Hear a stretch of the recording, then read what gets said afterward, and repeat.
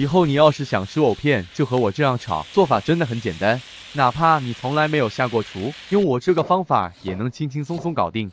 树上摘的莲藕切成厚一点的薄片，水开下锅，放一勺白醋，能让藕片不容易发黑，而且吃起来更脆。油热下五花肉，煎炒出油脂，放蒜末、青红辣椒，调味只需要一袋好吃的爆炒酱，其他的什么都不用放。